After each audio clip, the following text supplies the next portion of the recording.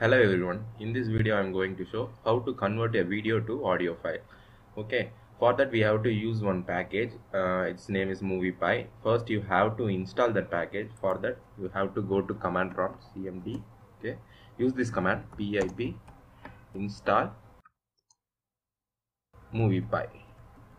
Okay, I already installed that, so it says like requirement already satisfied, okay so now i'm going to explain this program first you have to give the file name of the video.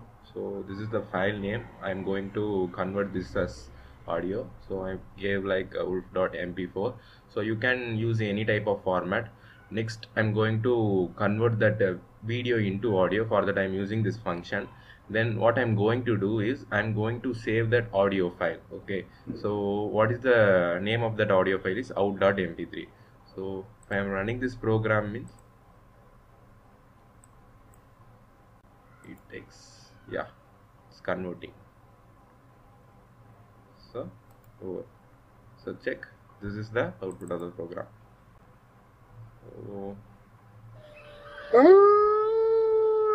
this is the audio file. If you want to compare that check this. So this is a very easy way to convert uh, a video file into audio file. Thanks for watching